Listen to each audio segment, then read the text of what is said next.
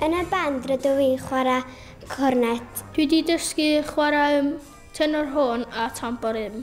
Yn y siamba dwi chwarae swrdo ac yn y band mawr dwi chwarae cornet.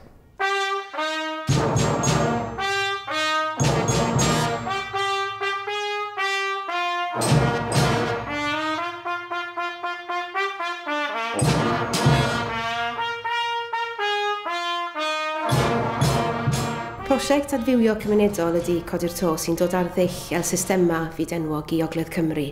Ni'n gweithio mewn dwy ysgol, Ysgol Glanghegin, Mangor ac Ysgol Maes Incla yng Nghanarfon. Daw'r ysbrydoliaeth ar gyfer y prosiect o'r rhaglen el systema enwog o Venezuela yn wreiddiol.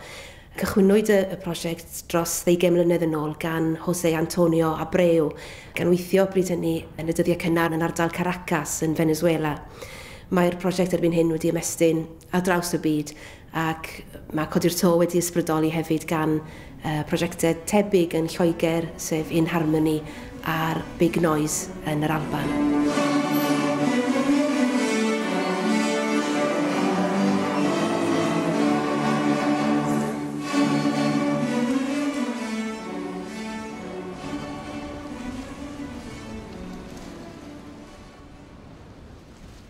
How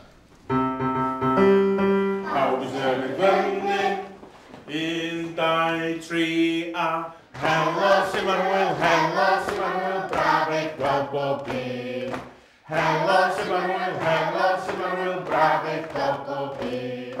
Ay, ay, ay, ay, ay, brave Bobo Bean. Ay, ay.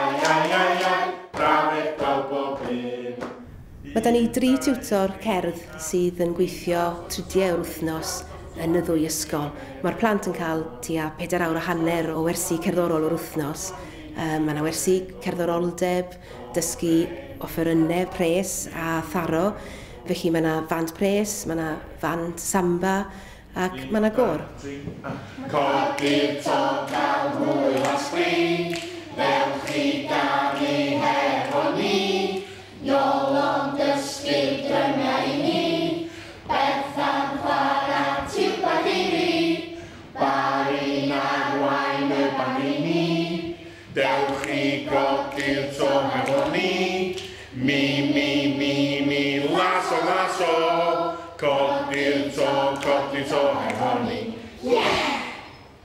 bob diwrnod yn dechrau efo gwers cerddoroldeb a da ni'n dechrau hefo um, helo sy'n ma'r hwyl ac uh, yna da ni'n symud syth i um, set y seren.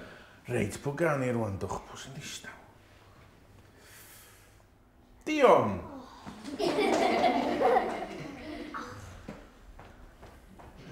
Hei!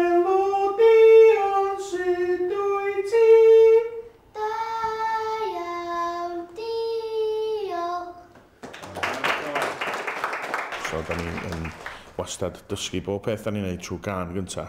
So, maen nhw'n mewnol i'r traw, a wedyn, da ni'n mynd i'r offer yna wedyn. Ar y funud, da ni'n gweithio ar O to Joy.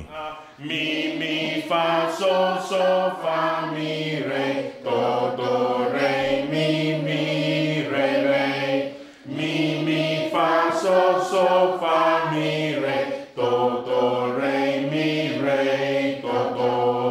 Yn y band rydw i'n chwarae tiwba a pan dwi'n gwneud zamba rydw i'n chwarae sydw.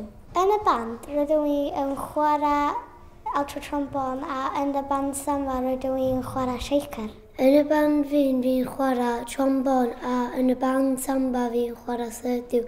Dwi'n wrth y bodd gwneud samba achos mae'n gwneud lot o sŵr a mae'n hwyl.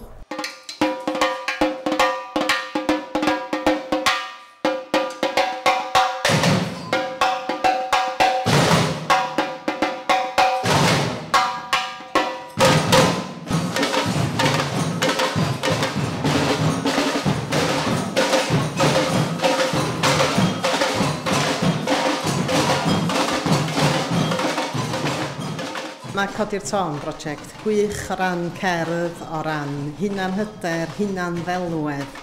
Mae statws uchel y prosiect a proffesiynoldeb y prosiect yn gwneud i plant. Um, maen nhw'n sythu, maen nhw'n falch, um, mae hyder nhw, mae, um, uh, mae hawydd nhw i gymryd rhan wedi cynyddu, maen nhw'n mentro.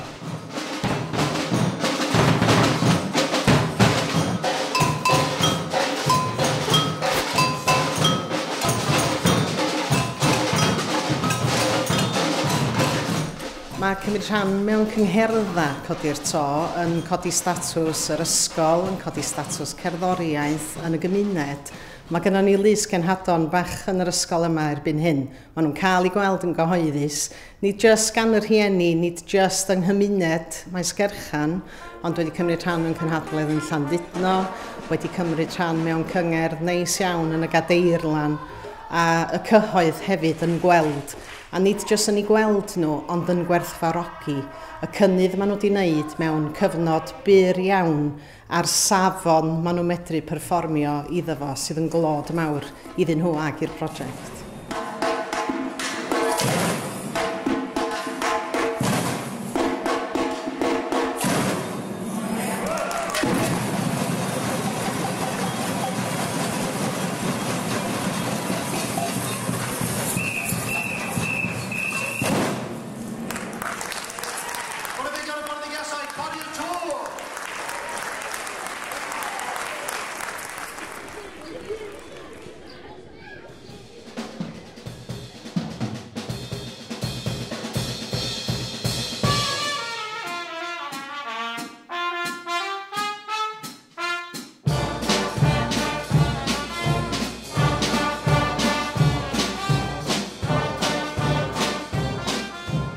effaith ni sylwi ar y plant ydy bod wedi codi hyn hyder nhw a bod nhw'n meithrin sgiliau cyfathrebu a chanolbwyntio da iawn.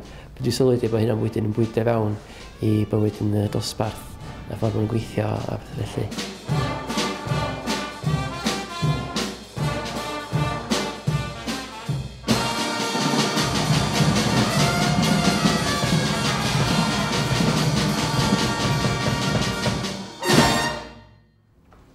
ardderchog. da iawn chi.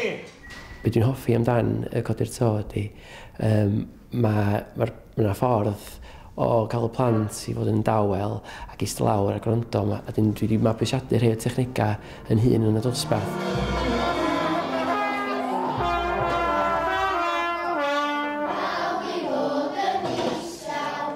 pen nathon ni i arsylwi yn, in Harmony yn, yn, yn uh, West Everton, nathon ni weld bod nhw'n defnyddio um, chydig bach o uh, cyfarwyddiadau.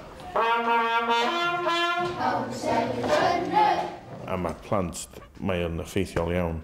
Nathon ni ddod i fyny hefo pawb i fod yn ddistaw. Um, a rwan erbyn hyn, dwi'n mwyn gorau canu hynna, na, di bethau yna i ola chwaith, i gyd o'n i gorau wneud i chwarae ar, ar, ar, ar y piano. Pavarotti! Pavarotti! Tagliatelli! Tagliatelli! Spaghetti! Spaghetti! Ravioli! Ravioli! Pizza! Pizza! Brintervel! Brintervel! Yn y, yn y wers uh, cerddoroldeb, da ni um, yn defnyddio technegau dysgu gwahanol da ni'n defnyddio chydig o Dal Cruz, Eurythmics, sef symud efo'r cerddoriaeth, gallu teimlo'r cerddoriaeth. A wedyn da ni'n defnyddio codau hefyd, sef Sofa. A mae hwnna wedi bod yn... Uh, wedi cael effaith mawr ar y plant, sut maen nhw'n mewnoli a dysgu caneuon mor gyflym. Da ni hefyd yn defnyddio anifeiliaid, Mae gennym ni iar, ceffil, cangarw, crocodil, mae gennym ni llith o uh, anifeiliaid gwahanol i, i, i fynd efo rhythmau gwahanol. Da ni'n defnyddio hynna uwch ben y nodiant yn y cerddoriaeth. Lly.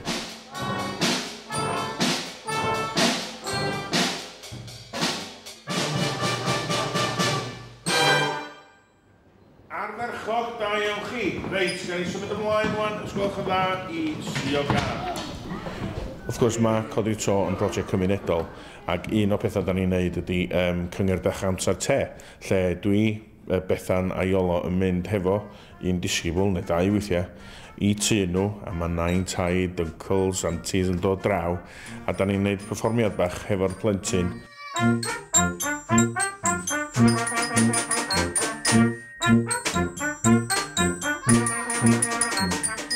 Lexi really enjoys Codi Tor, um, she's really inspired by it, so much so that she's had um, a piano for Christmas.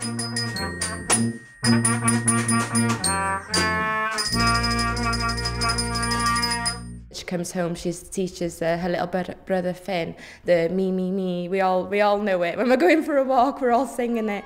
When we're passing the park, she's touching the railings, making music along the way. Gafon ni cyngerdd yn tymam am sater o ysgol yn pnawn. Um, oedd Ken a'i ffrind Goran Nathan yn eido yn chwarae corn. Um, daru Barry Iolo a Bethan ddod yna. A wnaethon ni fwynhau yn nadwy.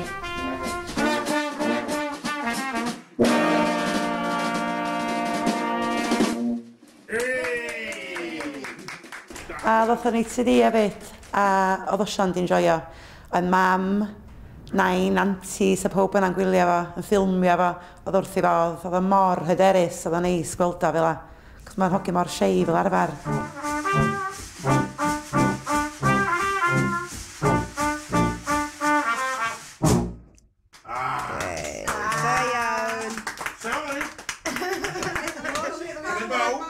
Yeah. Gafon ni um, Clwb Codi'r To dros y ha. Gafon ni Bethan Habron James i mewn i wneud ychydig o waith uh, Dal Croes i'r Rhythmics. Gafon ni Bandiw Maris. Ac um, hefyd gafon ni Ensemble Cymru. Wedyn gafon ni Colin Diamond i, i arwain ni ymlaen o um, lleodda ni yn y dechrau hefo'r bandiau samba. A oedd o'n llwyddiannus. chodi to, wedi bod yn brosiect cyffroes iawn, iawn, iawn. Es i mi gychwyn ma fel pennaeth rhyw flwyddyn yn ôl. Um, oedd o'n brosiect newydd, do'n i ddim yn ymwybodol ohono fo i gychwyn. Lly, ac yn sicr mae rhywun yn rhywle wedi gweld yn bell. Mi dwi wan yn, yn ddiolchgar iawn, gan hapus iawn, fel pennaeth i fod yn, yn cefnogi'r brosiect yma yn llwyr, gan y mod i'n sicr yn gweld y gwerth um, mae'r prosiect yma wedi roi i'r disgyblion yn gyntaf oll yn maes lles y disgyblion. Lly lle mae gen i ni ddisgyblion yma sy'n sy sy, hapusach i byd, lle mae nhw'n blant bodlon iawn a hynny yn, yn dod allan yn gry iawn yn holiaduron i ddisgyblion. Um, mae'r plant yn awyddus, yn frwdfrydig, mae presenoldeb, y ffrydlondeb yn rhywbeth ydyn ni ebyn hyn, y mysg y garfan yna ddisgyblion yn, yn ymfalchio yna fo Lle.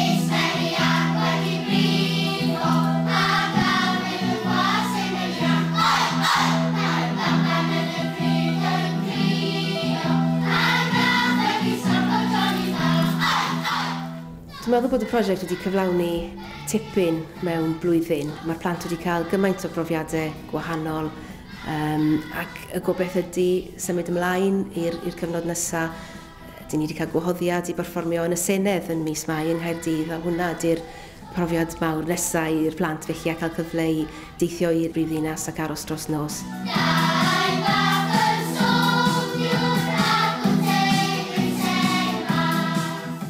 efo prosiect codi'r to, yng ngobeithio ni fysa bod y prosiect yma yn tyfu. Mae o'n brosiect dylanwadol iawn. Da ni'n weld o yn wedi ychwanegu gwerth mawr i'r ysgol, i statws yr ysgol, i sut mae'r plant yn gweld eu hunan, i lefel broffesiynol y gwaith ac i godi deheuadau nhw.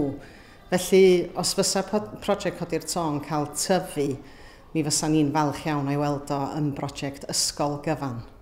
Uh, yn ymdrech ni wrth gwrs ydy bod hwn yn datblygu fod yn ddiwylliant ysgol yma yn ysgol mae Sinclair, gan bod ni wedi gweld i wertho heb os mewn maes addysg a lles.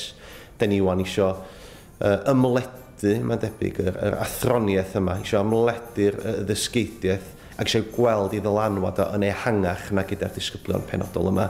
Nid yn unig ar y disgyblion, ond hefyd ar, ar y gymuned um, ehangach hefyd lle cymuned yr ysgol yma mae Sinclair.